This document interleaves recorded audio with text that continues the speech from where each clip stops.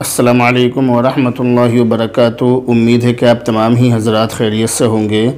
बहुत ही खुशी की बात है और बहुत ही खुशी का मकाम है कि आज मुलाकात के लिए तशरीफ़ लाए हैं सिकंदराबाद से।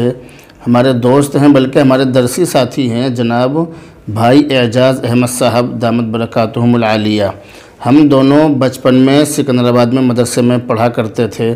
तो जिस महल्ले में एजाज़ भाई रहते हैं, उसी महल्ले में मदरसा है। मदरसा ख़ादिमुलक़ुरान मोहल्ला शेखवाड़ा और सिकंदराबाद। बहुत मशहूर इदारा है। मैंने वहाँ पर अरबी फ़ारसी, अरबी अव्वल, इन दो सालों में, बल्कि अरबी दोम भी मैंने वहीं पर पढ़ी है। तो उसी ज़माने में एजाज़ भाई हमारे साथ पढ़ा करते थे, लेकिन जह नसीब के हम इस लाइन में ही अल्लाह ने हमें कबूल कर लिया और एजाज़ भाई ने ये लाइन छोड़ दी। लेकिन एजाज़ भाई बिज़नेस में बहुत अच्छे बिज़नेस मैन हैं और कई काम, माशाल्लाह, ये किए हुए हैं। अल्लाह का बहुत बड़ा एहसान है कि बहुत, यानी बहुत ज़्यादा खुशहाल ज़िंदगी बसर कर रहे हैं। बहुत ही खुशी की बात है। तो आज इनका हापुड़ आना हुआ। इन्होंने पहले ही फ़ोन कर दिया था मेरे पास में कि मैं आपसे मुलाकात के लिए आ रहा हूँ। तो मैंने तमाम कामों को पस पुस्त डालकर एजाज़ भाई से मिलना, गवार मिलना पसंद किया और मिलना ज़रूरी समझा। आज, यानी तकरीबन हमने चार या पाँच घंटे साथ गुजारे हैं और बल्कि अभी हम साथ बैठे हुए हैं, आप हजरात हमें देख रहे हैं। तो ये बहुत अच्छी बात है, बहुत अच्छा लगता है अपने पुराने साथियों से मिलकर। अब बहुत सी मरतबा ऐसा होता है कि, यानी जब जब हम बचपन में पढ़ा करते थे तो जब चेहरा मोहरा अलग था।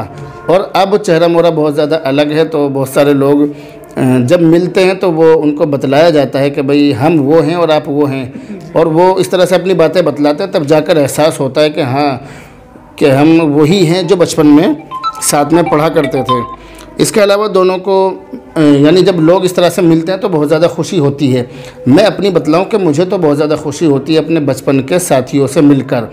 और मेरे जो बचपन के साथी हैं या या मेरे दरसी साथी जो हैं, जब वो मिलते हैं तो बहुत ज़्यादा मुतासर भी होते हैं क्योंकि मैं उनको, यानी इज़्ज़त देना और उनके साथ करीमाना अखलाक पेश करना अपनी खुश नसीबी समझता हूँ। तो बहरहाल एजाज़ भाई से मुलाकात हुई। एजाज़ भाई अपने कुछ तासुरात, मुझसे मिलने के बाद में एजाज़ भाई को कैसा लगा और यहाँ पर आने के बाद में क्या महसूस किया? बचपन की यादें ताज़ा हुई, वो तमाम बातें एजाज़ भाई आपके सामने रखें। दोस्तों, जैसा कि आप देख रहे हैं, मुफ्ती खालिद कासमी साहब से मेरे मुलाकात के लिए आया था आज। और मैं सिकंदराबाद का रहने वाला हूँ और मुफ्ती साहब जो है, मेरे दरसी साथी रहे हैं। और बहुत लंबे वक्त के बाद मुलाकात हुई आज मुफ्ती साहब से। बहुत लंबे वक्त के बाद। हालाँकि इतफाक़ की बात किसी तरह से एक साथी के ज़रिए नंबर तो मिल गया मुफ्ती साहब को मुझे। अब से तकरीबन आठ या छः महीने हुए होंगे मुफ़्त मेरे ख्याल में। जी जी। और बातचीत भी होती रही है बीच बीच में कई मरतबा। मुलाकात के वादे भी हुए लेकिन मौका न लग सका। आज अल्लाह ने जो है मौका दिया। तो मुफ्ती साहब से असल में काम भी था मेरा थोड़ा सा मेरठ में रिश्तेदारियाँ हैं तो आना जाना लगा रहता है। लेकिन मुफ्ती साहब से मुलाकात ना हो पाई कभी।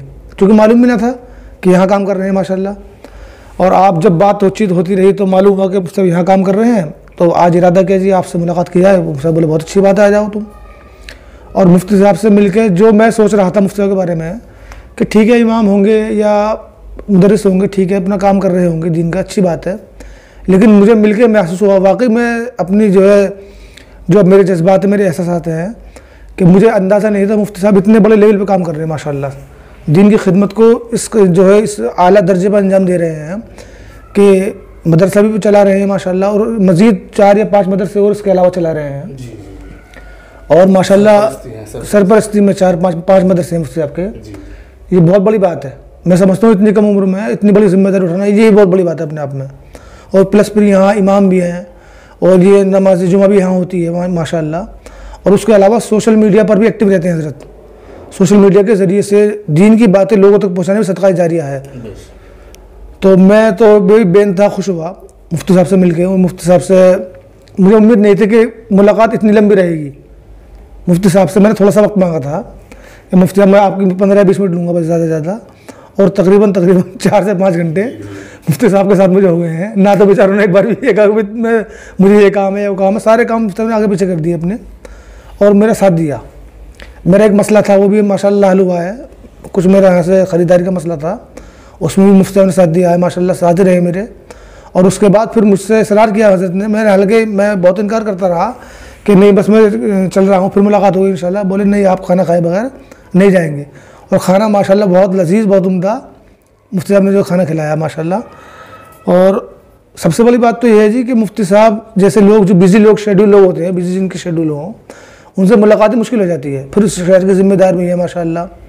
और कई सारी जिम्मेदारियाँ इनके ऊपर हैं। लेकिन उसके बाद भी इतना लंबा सारा वक्त मेरे लिए निकाल लिया मेरे लिए बहुत बड़ी बात है और जिस खुश इलानी से जिस खुश अखलाक से मुफ्ती साहब ने मुझसे मुलाकात की है वो दिल पे एक असर हुआ है माशाल्लाह। और आइंदा भी मुलाकात इस तरह से जारी रहेंगी इंशाल्लाह। उम- उम्मीद है कि मुफ्ती साहब आगे वक्त देते रहेंगे। कहीं ऐसा ना सोचें कि मैं इस बार आगे चिपक गया अगली बार मना कर दूँ। उम्मीद है कि इंशाल्लाह वक्त देते रहेंगे मुफ्ती साहब। बहुत अच्छा लगा जी बहुत खुशी हुई। और उम्मीद है आप सब लोगों से भी दुआ जो है दरख्वास्त है मेरी कि मुफ्ती साहब के चैनल को सब्सक्राइब करें और ज़्यादा से ज़्यादा इनकी वीडियो को शेयर एजाज भाई से आपने मुलाकात की, आप रूबरू हुए, हम आपके रूबरू हुए और आपने हमारी बातों को सुना। और मेरे बचपन के दरसी साथी एजाज भाई से आपने मुलाकात की। मुझे बहुत अच्छा लगा कि आपने वीडियो को आखिर तक देखा। हमारी तकरीबन 17-18 साल के बाद में मुलाकात हुई है। यानी 2003 में 2003 से अब दो दो तीन हाँ, 2000 हुए थे। हाँ। और अब मुलाकात की तो 2002 से अब मुलाकात हुई है ये 2023 चल रहा है। तो तकरीबन 20 साल के बाद बहुत लंबा अरसा है। यानी मेरा भी पूरा चेहरा मोहरा बदल गया और आपका भी। तो बहुत लंबे ज़माने के बाद मुलाकात हुई है। लेकिन बहरहाल ऐसा लग रहा है कि जैसे कल ही बिछड़े हाँ जैसे कल ही बिछड़े हों जी जी। तो बहुत अच्छी बात है माशाल्लाह आपसे रुख्सत होते हैं। दुआओं में याद रखें। अस्सलाम वालेकुम वरहमतुल्लाहि वबरकातुहू